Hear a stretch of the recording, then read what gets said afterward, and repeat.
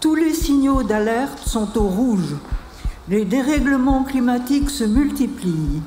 L'enjeu est clair, ne pas franchir les seuils dangereux, voire irréversibles, de réchauffement et de déstabilisation du climat.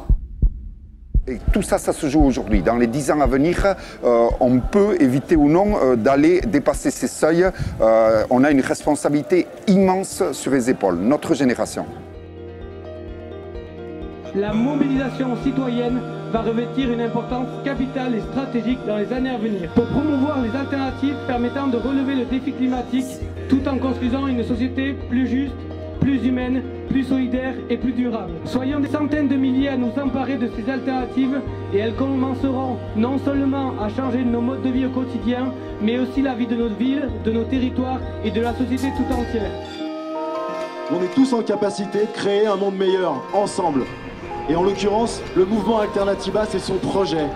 Le projet de valoriser des solutions positives qui existent tout autour de nous. Et il y en a plein. Ce à quoi on vous a invité, c'est ça, découvrir ces solutions, découvrir qu'en fait, le pouvoir, il est entre nos mains. Alternativa, c'est important d'une part pour interpeller les décideurs, mais également pour faire se réunir euh, tous ces gens qui sont acteurs du changement aujourd'hui et, et, qui, tous ensemble, constituent une force euh, impressionnante, capable de changer euh, la situation.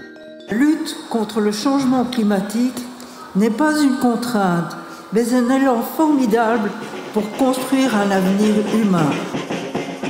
Que les gens s'approprient, chacun à son niveau, son engagement pour dire une autre planète est totalement possible.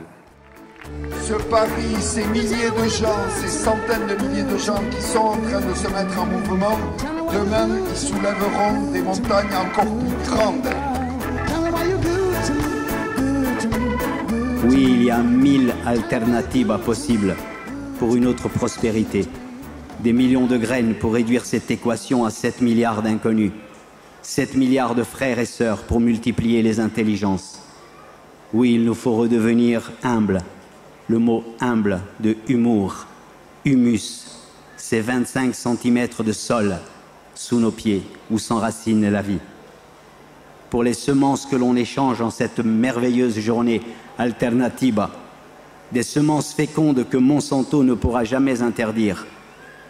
Nous croyons à la loi des petits pas, cette autre loi du marché, le verbe marcher. Tu dis quoi Insta les mani